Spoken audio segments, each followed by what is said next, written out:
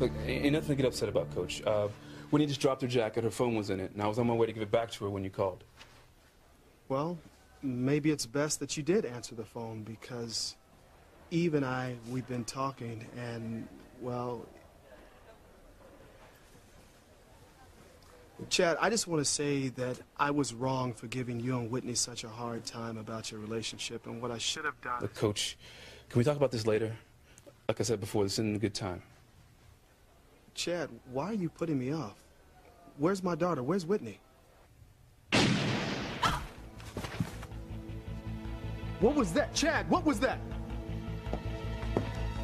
That'll teach you to mess with my man.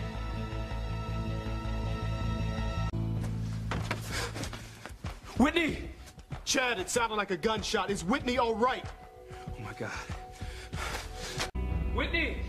Whitney, where are you? Whitney, oh, my God. Help! Help! We need a doctor! Whitney, baby, don't die. Help! Help! Somebody please, we need a doctor! God, don't let me die. Can you hear me? Oh, my God, Whitney! Oh my god! Oh my god, oh Whitney! Over here, we need a doctor! Help! She's bleeding to death. Come on.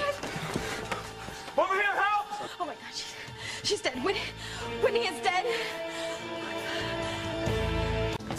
All right, let's get her in here. You'll have to wait here. I'm sorry. God, what am I gonna do? What am I gonna do if she dies? No, don't say it, okay? Don't even think it. She's going to be okay.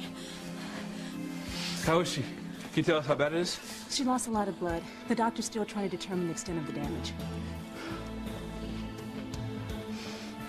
Can't lose her. I can't. Neither can I, Chad. Give me an art line, kid. Type in cross match for two to four units of blood. BP 160 over 90, pulse 90. Okay, I need you to. What the hell's going on? Why did they tell us something? I don't know, Chad, but she's gotta be okay. Yeah. Come on, baby, you can pull through this. You have to. Doctor, how's she doing?